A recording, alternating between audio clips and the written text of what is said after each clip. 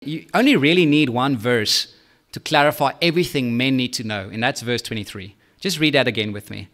Only this verse is good enough. It says, For the husband is the head of the church, or the head of the wife, even as Christ is the head of the church. What a difference those two words make.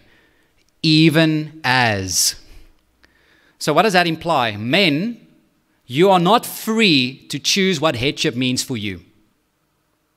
You cannot say, well, for me, headship means to sit on the couch and wait for my wife to serve me like a slave. That's for me. That's my type of headship. No, because the text says, even as Christ is the head of the church, we look to Christ. We, he is our example, He is our model. And until your headship doesn't conform to His headship and what that headship looks like, you are not a biblical head. So here's the first point headship is patterned after Christ's headship. That's the first aspect. Headship is patterned after Christ's headship. And as the chief goal of Christ's headship, the rest of the verse, have you noticed? I love that Paul immediately goes on to say what this head did for the church. Just look at the end of verse 23 again. It says, Even as Christ is the head of the church, his body, and what? Is himself its Savior. Isn't that beautiful? The head of the church is the Savior of the church.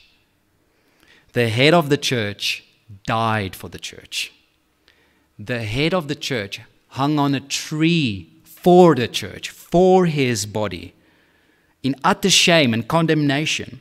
Now, do you see how that just radically changes what we commonly think of headship? Your headship is not for you. It's not for you.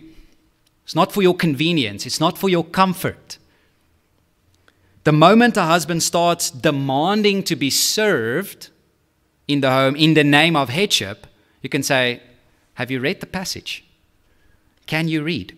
it says, well, in, in respect and in submission, but it says, as Christ is the head, right? And how did Christ come? He came not to be served, but to serve and to give his life as a ransom for many. He didn't come to wear a crown of gold, but a crown of thorns our example came and emptied himself, made himself nothing, taking the form of a slave for us. Men, by nature, we are competitive, we are strong, and we are aggressive by nature. That's actually part of our masculinity, not necessarily evil, any of those three things I've just mentioned. But that, that is part of our masculinity. But the problem is when you use your strength, your aggression, and your violence on your family and not for your family. So when you start twisting that masculinity on top of your wife, on top of your children, that's toxic masculinity. That's when you abuse verbally, emotionally, or even physically. But that's not biblical headship. Biblical headship is using your strength, your, comp- your, your competitiveness, your aggression to stand in between your wife, your children, and the rest of the world and every danger around them spiritual, emotional, physical.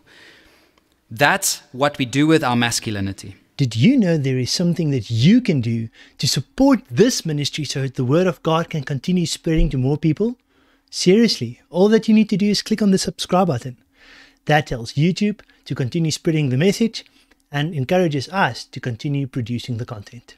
Thank you. God bless.